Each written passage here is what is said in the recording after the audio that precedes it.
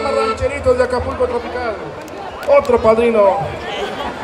Bueno, viene la del vestido rojo, porque hay muchas peticiones en el Facebook también. Gracias por seguirnos en Acapulco Tropical de Walter Torres en Facebook y en todas las plataformas.